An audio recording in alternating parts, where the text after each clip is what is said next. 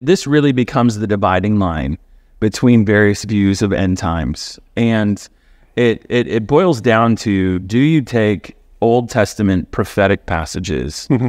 literally, or do you, or is there some sense of spiritualizing? Now, the response is going to be, well, the New Testament author spiritualized Old Testament prophecies, and so we can too.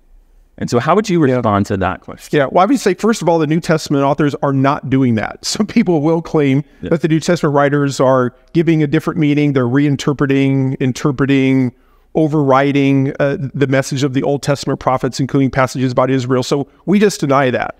So, we're believing all passages make a contribution and that later sections of Scripture, including the New Testament, will harmonize with what came earlier. And yeah, sometimes there'll be new information, like New Testament tells us explicitly there's two comings of the Messiah. So you have that sort of thing. But we we believe if you're using good hermeneutical principles, you're going to understand uh, that the that there's a plan for Israel, that God's working out His kingdom purposes, and those sorts of things. Hey, Thanks for tuning in to our Redeemer YouTube channel.